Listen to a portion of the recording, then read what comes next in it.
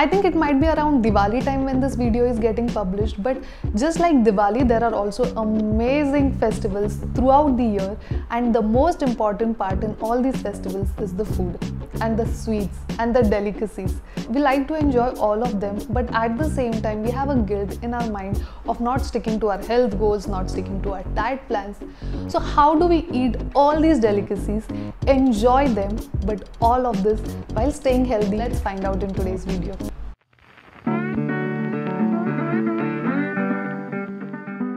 Hi friends, my name is Ashwini. I welcome you all today to my channel. Whenever it is the festivals, I have seen always two groups of people. One group which will work really hard, do a lot of exercises, eat a lot so that they can reward themselves during the festival by eating all the food.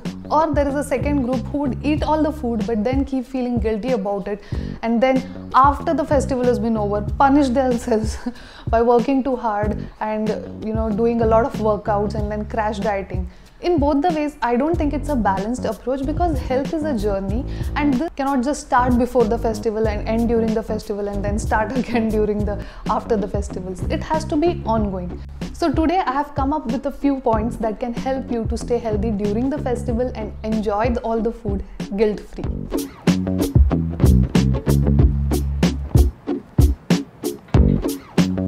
sweets and delicacies generally during the festivals that are made are homemade. So homemade means more fresh, homemade means more nourishment, homemade means a lot of hygiene during the preparation and of course homemade means a lot of love. When this food is prepared with so much of love and nourishment and the care and the traditional way of making it, you will notice that the traditional practices of cooking this food is actually a lot more mindful than we can think of. For example, there is this dish called as anarse that is made in Maharashtrian families during the Diwali season. And I have seen my mother in law and my mom make that dish, and it is so much of hard work and so much of care and so much of attention that is required while making that food that when it comes to my plate, if I just gulp it down, I'm just not showing respect enough respect for this food. I also have to be very mindful for consuming this food. So, when I am being mindful, the way it will help me to maintain my health is by ensuring that I am eating to a point only where I feel satisfied and not beyond that, and not gulping the food and not abusing the food.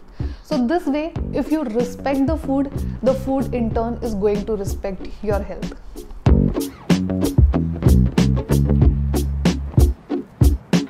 Speaking on the point of being mindful during the festivals, my second point to stay healthy during the festivals is to cook something yourself. Maybe it is a simple dish, maybe something that you will not mess up if you're not a good cook already. That is fine. Maybe it should be a cranberry sauce. Try cooking something that you know it's easy for you, but if it is a little more daunting, that is okay. You can help someone who is doing that. Basically, the point is to be aware of the process that goes behind cooking that food and raise your awareness while eating it.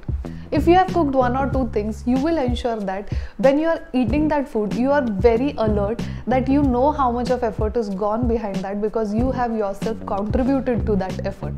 And I'll give you a second hack also. But whenever you cook something just like a sweet, you are not excited about eating it all by yourself. Instead, you are excited about sharing it with your family, sharing it with your friends, waiting for their feedback on how it has been made, whether it has been good or not. Help you to feed other people you stay healthy during that point. Much needed satisfaction of cooking something for your loved ones. See, even if you don't cook something really nice or if it's not fancy or if it really didn't come out the way you planned it to be your family and friends will still love you for all the effort that you put in to make this food for them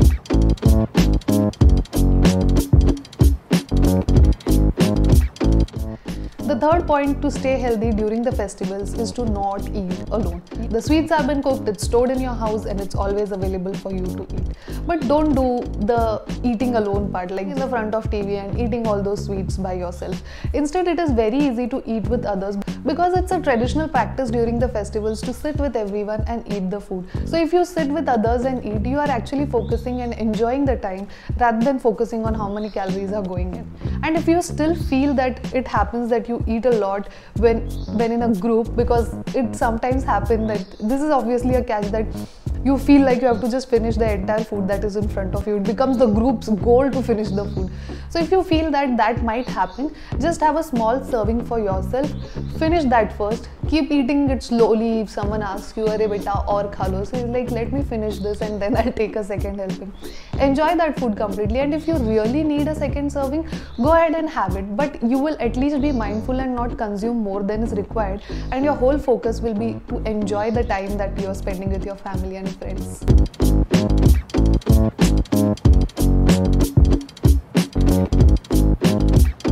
third point to stay healthy during the festival season is to stay active. Holidays are a time that you get to spend with your family and friends, and I think the connection should happen not just over food but in other things also. See, when it is a holiday season, you know there are a lot of people in the family, and then there is, of course, a lot of work. So, contribute to this household chores. Your mom will always say that बेटा तुम्हारी तो छुट्टी आहे थोडा आराम कर लो किंवा और शिल से अगं हे तुझं नेहमीचंच आहे अगं तुला हे नेहमीच करावं लागतं इथे आल्यावर तरी आराम कर but even if you contribute one or to chose to out the day that will just make them feel very happy this and this way you are staying active and not just being very lazy and eating and sitting on the sofa and then saying that oh i'm becoming fat during the holiday season if you have a house help give them a day or two off during the family during the festival season season. Opt to do the chores yourself. This will help you to appreciate their efforts when they are doing your household work. But, but at the same time, your house help will also be very grateful to you because you gave them the much needed time off to spend with their family during this holiday season. And they will definitely reciprocate this kindness of yours. And all this will make it more reasonable while you are enjoying the sweets and being active at the same time, even without doing exercise during the festival season.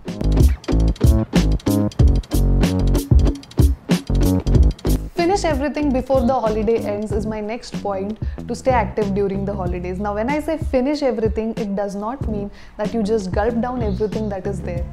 But how many times has this happened in your house?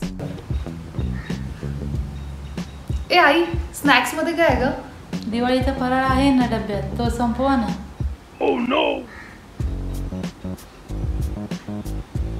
not just this but we also receive a lot of sweets and lot of delicacies from our friends from our neighbors maybe from our office from our family. And all of that either we eat our way through it or we throw most of it away. In either of the ways the food is getting wasted. But instead how about you think in advance of how much is the food that you are actually going to consume or actually going to enjoy guilt free and then whatever is remaining just give it away to people who are in need people who are homeless or people who cannot actually afford to celebrate this festival. Of course will help you to keep your waistline maintained. This will help to spread the happiness and have more people across the community enjoying the festival even when they cannot afford to do so. If you spend your holidays like this, being mindful, being active, being kind, being helpful, and being generous, there is no reason for you to feel guilty about the food that you're eating because both your body, your mind, and you yourself are absolutely well fed and energetic. And brownie points is that once the holidays are over, you will not feel a drag to go back to your office because you just overstuffed yourself and did nothing and completely were lazy throughout the festival.